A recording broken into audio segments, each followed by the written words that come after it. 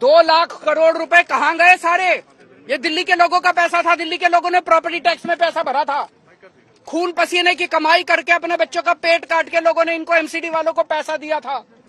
अब जीएसटी का पैसा भर रहे हैं लोग। दूध पे, दही पे, रोटी पे, सब्ज़ी पे, चावल पे, हर चीज़ पे जीएसटी लगा दी। जीएसटी का पैसा दो लाख करोड़ रुपए खा गए ये लोग सारे के सारे।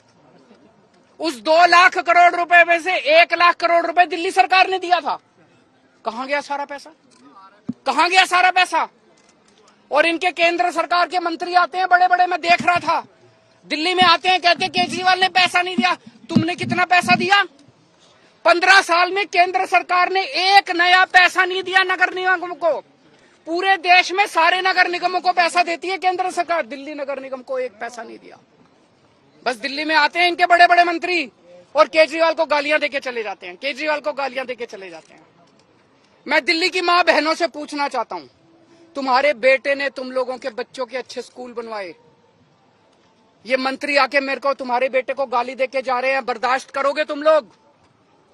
दिल्ली के बुज़ुर्गों से, दिल्ली की माताओं से पूछना चाहता हूँ।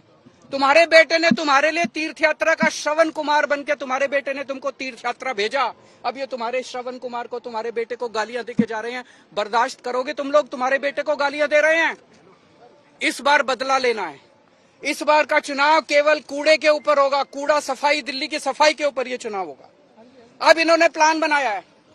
सोलह कूड़े के पहाड़ और बनाएँगे, क्योंकि ये तो बहुत ऊँचा हो गया। अब इसके ऊपर और कूड़ा डाल नहीं सकते, बता रहे अनस्टेबल हो गया। तो दिल्ली का जो सारा कूड़ा है, अब इसके ऊपर तो डल नहीं सकता।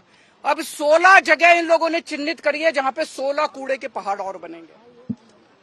तो इसका मतलब वहाँ पे भी आसपास के लोगों की ज़िंदगी हराम हो जाएगी। 24 घंटे बदबू आया करेगी। मच्छर मक्खी पैदा होंगे, लोगों को कैंसर होगा। पूरी दिल्ली को अब ये कूड़ा घर बनाने, पूरी दिल्ली में 16 कूड़े के पहाड़ इन्होंने चिन्हित किए हैं। मैं खासकर बीजेपी के जो वहाँ पे मेरे को प्रोटेस्ट कर रहे थे, उन लोगों से भी कहना चाहता हूँ। तुम मेरे खिलाफ प्रोटेस्ट करना चाहते हो, करो। मैं तुमको बुरा नहीं मानूँगा, मैं इस बात का मेरे खिलाफ प्रोटेस्ट करने से कुछ मिलता हो, करो। लेकिन ये सोच लेना, तुम्हारे बच्चों के लिए स्कूल तो मैं ही बनवाऊँगा, स्कूल तो तुम्हारे बच्चों के केजरीवाल ही बनवाएगा। तुम्हारी बिजली भी मुफ़्त में ही करूँगा। तुम्हारे लिए अस्पताल का जब तुम्हारे घर में कोई बीमार हो जाएगा ना, बीजेपी वाले के भी घर में तुम्हारे दवा दवा दारू का इंतज़ाम मैं ही करूँगा, तुम्हारा इलाज भी मैं ही कराऊँगा। ये बीजेपी वाले तो कुछ नहीं कराने वाले। तो मैं सारे दिल्ली के बीजेपी के सपोर्टर्स को खास तौर से आज अपील करना चाहता हूँ। एक बार अपनी पार्टी भूल जाना इस बार। दिल्ली की सफ़ाई के लिए। आपने देख लिया? पंद्रह साल तो कम नहीं होते।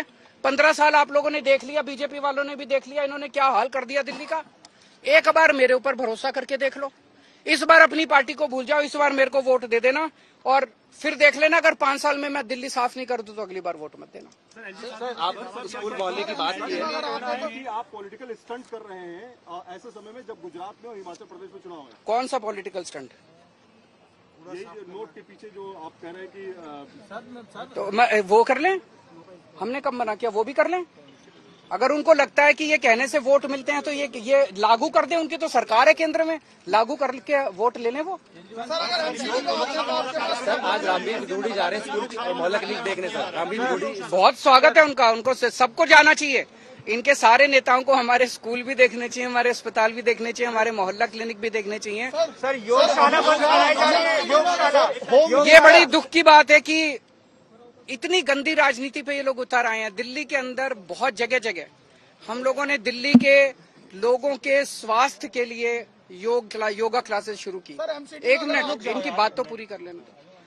हमने दिल्ली के लोगों के लिए योगा क्लासेस शुरू की। सत्रह हज़ार लोग उन योगा क्लासेस के अंदर अटेंड कर रहे हैं। सत्रह हज़ार लोग डेली सुबह शाम योगा करते हैं और उनके स्वास्थ्य को लाभ हो रहा है। इनमें से दस ग्यारह हज़ार लोग ऐसे हैं जो पोस्ट कोविड कॉम्प्लिकेशंस की वजह से जिनके लंग्स में प्रॉब्लम रह गई और वो अस्थमा है, किसी को कुछ है, उन वो योगा क्लासेस में प्राणायाम करके उनको स्वास्थ्य लाभ हो रहा है। इन्होंने दिल्ली की योगा क्लासेस बंद करा दी।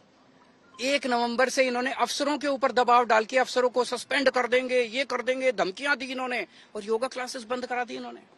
पर मैं दिल्ली के लोगों को भरोसा दिलाना चाहता हूँ, किसी भी हालत में केजरीवाल को किसी हद तक जाना पड़े।